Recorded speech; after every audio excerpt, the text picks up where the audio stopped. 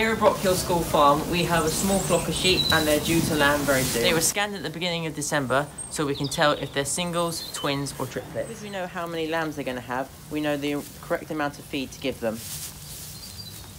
Some signs of ewes going into labour is they will their milk bag will bag up and then they will take themselves away from the flock. Once they're ready to go into labour, they often stand up, circle, and you'll see the water bag appear. Ewes have been divided into singles, twins and triplets, and we've got empty ewes there which have no lambs. We've had a bit of a population explosion today with the sheep, two days early, and we have had over half of our ewes lamb. What we did differently this year is we sponged our sheep. So we synchronised all of their cycles together to aim for them to all lamb at the same time. And it has definitely done that. They're meant to be due in two days time, but we've had 10 out and nine more to go.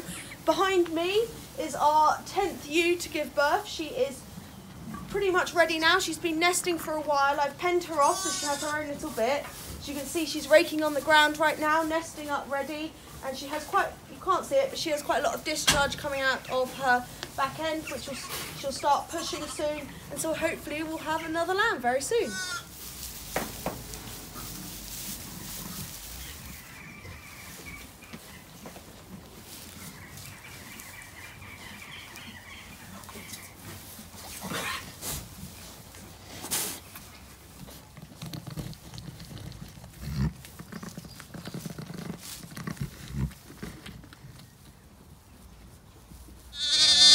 So the first thing we do when a lamb is born is we check their breathing and then we um, put iodine on their navel right here.